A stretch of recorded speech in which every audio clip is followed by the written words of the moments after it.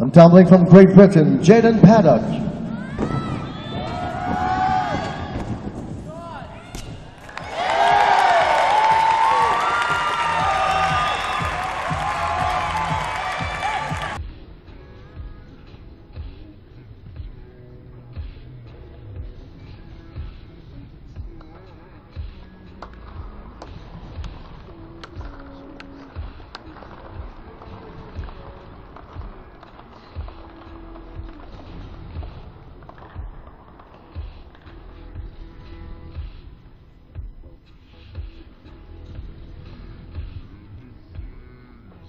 Traveling from Great Britain, Jaden Paddock.